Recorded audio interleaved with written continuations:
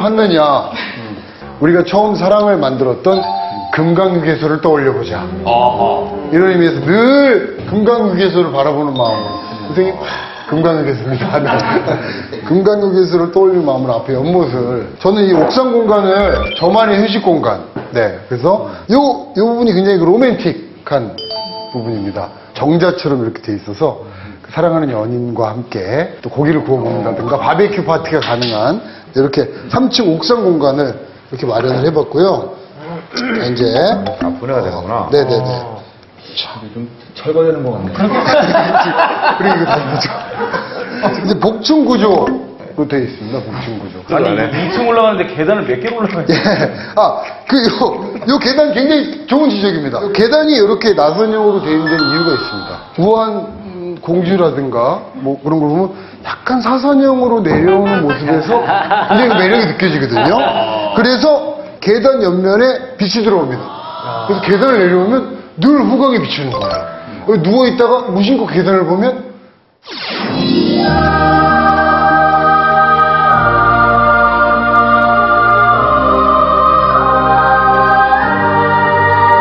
이렇게 해서 자 이거 큐피트 하우스 언제나 사랑이 살아 숨쉬는 큐피트 하우스 이렇게 소개를 좀 해드리겠습니다. 저는 윤영비 씨 굉장히 놀랬던 게 쓸데없는 게 없었어요. 그- 그래서 나는 그거를 굉장히 높이 평가했고요. 그 다음에 처음부터 끝까지 하트로 일관했다는 거.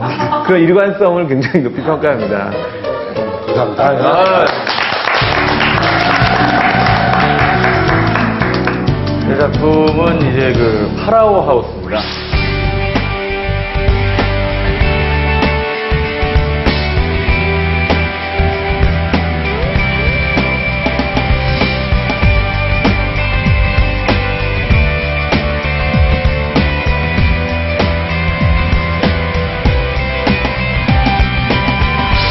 발상은 뭐였냐면 왜 집은 다 네모난가? 여기에서 이제 저 시작을 했어요. 아, 보시는 바와 같이 이제 피라미드를 연상케 하는 구조물이 있고 그 밑에는 이제 좀 너무 심심할 것 같아가지고 피라미드 밑에 옆 피라미드로 밑에 이제 하면서 그냥 합치면은 너무 심심하니까 약간 틀어가지고 추가 공간을 내봤습니다. 여기 보시면 아시겠지만은 여기 이제 풀장이 이렇게 돼 있어요.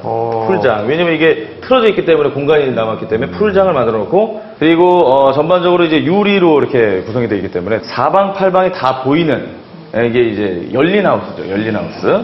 비닐하우스, 비닐하우스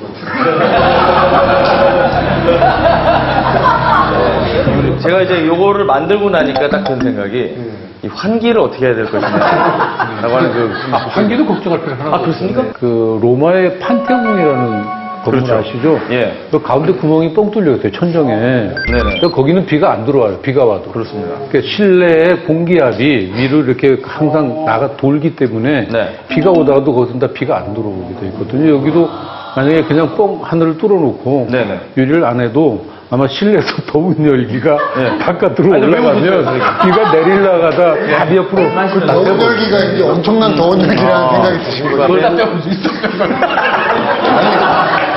그리고 이, 저 컨셉이 말이 안 되잖아. 파라오기 때문에 이, 이 난간을 돌면서 이 밑에를 감시할 수 있는 파라오. 부엌에서 뭐 하고 있나 손님이 뭐 하고 있나가 다 보입니다. 이게. 그 밑에가 바로 이 차 안에 보이시죠? 침실이 있어요. 그래서 피라밋의 구조상 온갖 기가 가장 잘 모이는 곳에 태양열이 가장 잘 보이는 건데 제일 뜨거운 거든 지금. 요리가 가장 잘 되는 곳 사랑이 뜨거우니까 사랑이 넘쳐 흐르니까 태양의 집이. 예. 아마 우리 멘토 선생님께서 네. 뭔가 좀 변명을 좀 해주셔야 될 것 같아요. 문제 없다고 그러지 않으셨습니까? 저는 처음에 몇 가지 아이디어를 가져오셨는데 전부 황당한 아이디어들이었습니다. 저것도 이제 그 중에 하나였는데 저는 이제 그 말씀하신 거를 거- 형태적으로 표현하는 역할만 했지 그 아이디어는 사실 전현무 선생님의 그 아이디어이기 때문에 저는 그렇게 특별히 할 얘기 없는 것 같습니다. 할 얘기 없는 것 같습니다.